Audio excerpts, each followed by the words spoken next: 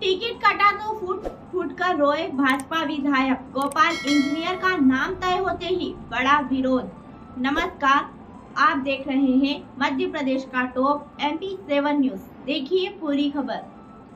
सीहोर ज़िले की आष्टा विधानसभा सीट के लिए भाजपा द्वारा घोषित किए गए प्रत्याशी गोपाल इंजीनियर को लेकर पार्टी में बगावत के सर सुर फूट पड़े हैं।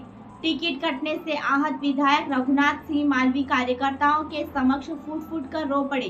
टिकट वितरण से पार्टी के असंतुष्ट कार्यकर्ताओं ने 25 अक्टूबर तक चेहरा बदलने की मांग की है। अन्यथा बगावत भी की जा सकती है।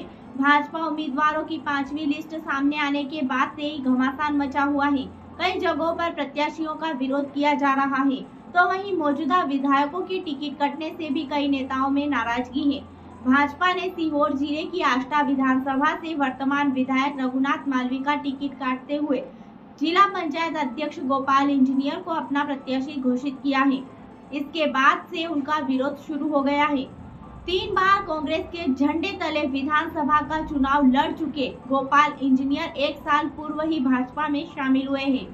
ऐसे में उन्हें विधानसभा का टिकट दिया जाना भाजपाइयों को रास नहीं आ रहा है। और उन्होंने बगावत करने का मन बना लिया है। गोपाल इंजीनियर को भाजपा का प्रत्याशी बनाए जाने से आहत पार्टी के कार्यकर्ताओं की आष्टा तहसील मुख्यालय पर दो जगह बैठक आयोजित हुई। बैठक में जिला पंचायत अध्यक्ष गोपाल सिंह को टिकट देने पर कार्यकर्ताओं ने नाराज़गी व्यक्त की। गीतांजलि गार्डन में हुई भाजपा कार्यकर्ताओं की बैठक का नेतृत्व विधायक रघुनाथ मालवी ने किया। कार्यकर्ताओं को संबोधित करते हुए विधायक मालवी भावुक हो गए। नम आँखों से कार्यकर्ताओं को संबोधित करते हुए मालवी ने कहा कि जनसंघ के जमाने से संगठन की सेवा की है। फिर भी बाहरी व्यक्ति को लाकर टिकट दिया। इससे बहुत दुखी हूँ। विधायक मालवी ने प्रत्याशी गोपाल सिंह का नाम लिया। बिना निशाना साधते हुए विरोध जताया। विधायक ने कहा कि इस बार पार्टी ने ऐसे व्यक्ति को टिकट दिया है, जो हमारी विचारधारा से मेल जोल नहीं खाता है। इसे यह भी कह सकते हैं कि विचारधारा का ही नहीं। विधायक मालवी बीच में फूट फूट कर रोने भी लगे, जिनको कार्यकर्ताओं ने ढाढ़स बंधाया।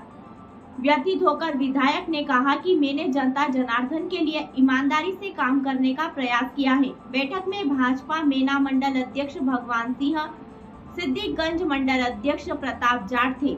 विधायक मालवी ने मीडिया से चर्चा के दौरान कहा कि पार्टी ने जो निर्णय लिया है, उससे बहुत आघात पहुँचा है। संगठन को इस पर दोबारा विचार करना चाहिए। भारतीय जनता पार्टी को उसे टिकट देना चाहिए, जो कार्यकर्ता वर्षों से काम करता आ रहा है।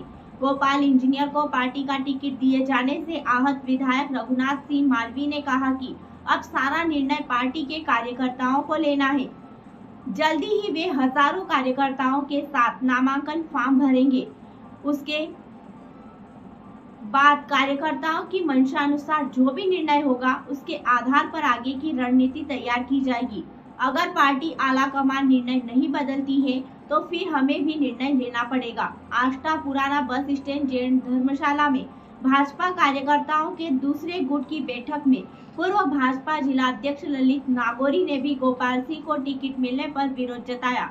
नागौरी ने कहा कि सन उन्नीस सौ इक्यावन से बने भारतीय जनसंघ में कार्यकर्ता तैयार किए जाते थे। पहले स्वयं सेवक हुआ करते थे, फिर विद्यार्थी परिषद और उसके बाद युवा मोर्चा बनता था। भारतीय जनता पार्टी की यही सीढ़ी है जिसमें कार्यकर्ता नीचे से लेकर ऊपर पहुँचता है और इस लायक बनता है कि चुनाव लड़ सके। शनिवार को भाजपा के आए निर्णय में पार्टी का स्वरूप बदल दिया है। विधानसभा चुनाव में पार्टी ने मूल उद्देश्य से अलग होकर जो निर्णय गोपाल सिंह को टिकट देने का लिया है, वह गलत है।